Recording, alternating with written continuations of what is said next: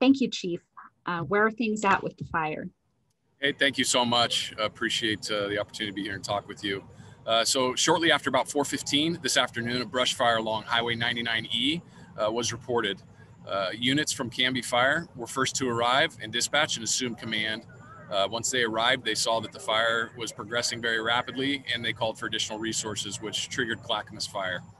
Um, firstly, arriving units found heavy fire traveling quickly towards structures in the terrain, uh, which was super steep, very steep and difficult to access for firefighters. Uh, crews from multiple agencies, including ODF, went to work uh, to contain the fire.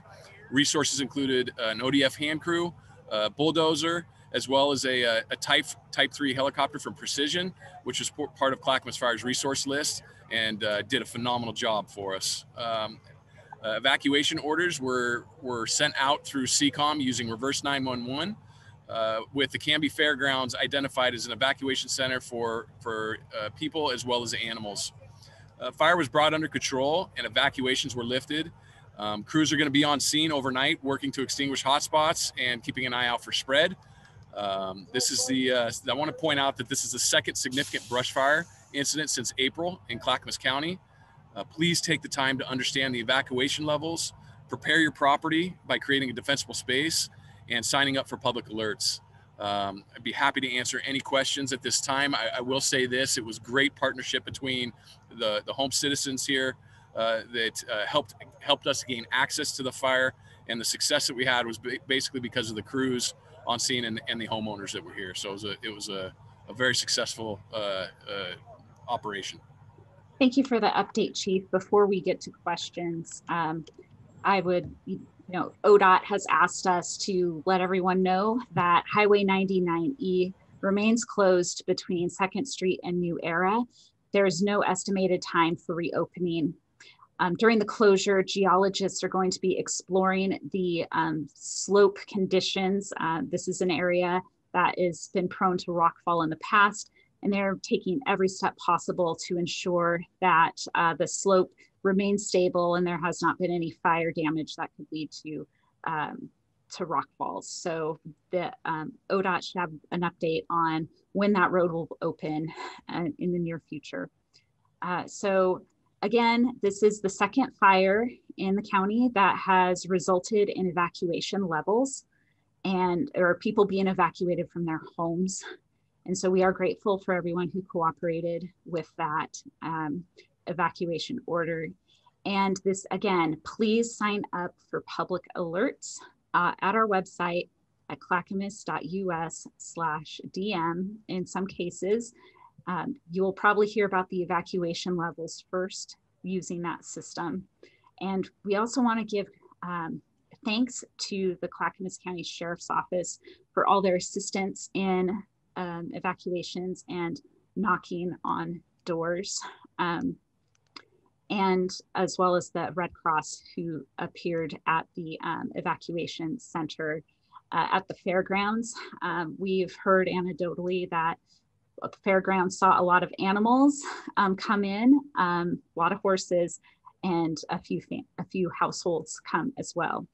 Um, Chief, can you please help folks understand where the fire stands tonight? Yeah, we're we're in mop up stage of this fire, so we've benchmarked fire under control. Um, so now what we are doing is just ensuring that all hotspots and smokers uh, are put out and and uh, extinguished, so that uh, you know in the next couple days nothing flares up.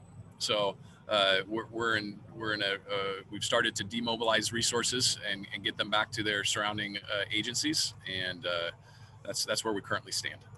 Okay, so with that, we will take questions from the media. And um, if you could use the raise your hand feature and unmute yourself, we'll take your questions.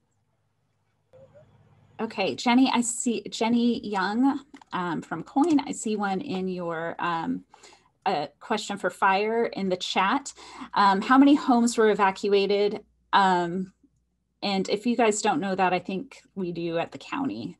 Yeah, that would be a, a better answer. We were just about to go uh, try to get the exact number, but how many how many do you have at the county? Well, we counted 13 structures that were in that evacuation area. However, we realized that not all of those uh, vac- all those structures were um, were homes. They could be some sort of outbuilding as well. Yeah, and there was a couple uh, neighbors that were doing hand hand hand, so it might be a little bit more than that, but but not much. Okay, are there any other questions? Jenny? Oh, this is a question for fire, and I don't know if you guys have the answer to this, but they're um, wondering if the fire started on private property, and I guess do we know how the fire started, or when will we know? Uh, the gonna is under investigation, and as soon as that information is uh, determined, we will we will release it. Okay, if there's no further questions, um, we'll go ahead and wrap up. Uh, we just again wanted to provide this opportunity as a really quick, brief update on where things stand for this evening. It sounds like um, fire crews are beginning, um, you know, the fire's under control, the crews are mopping it up and are, are demobilizing. And that's actually really good news. Um, I think every time, you know, with following the Labor Day fires last year, I think we're all um, on edge and expecting a big fire again. So again, so please let's learn from this incident and take this time to prepare um, for how to respond to wildfires. Love that, Kimberly. Can I just one more thing? Just want to say thank you to the the area citizens that provided water for us, that helped in evacuations, that evacuated themselves, and again that helped out in opening up the fences and get, helping us to gain access to uh, to where the fire to to be able to attack the fire and all the mutual aid resources Canby Fire, Clackamas Fire, Tualatin Valley, Aurora, uh, ODF, and Precision Helicopter. This it wouldn't have been the success, successful outcome without without the uh, the partnership. And not last but not least, the CCSO. We appreciate you guys. Thank you, and the county. Oh, well, thank you. It does. County. it does take a community effort to respond to these types of incidences. So thank you for joining us tonight and uh, please stay safe. Thank you.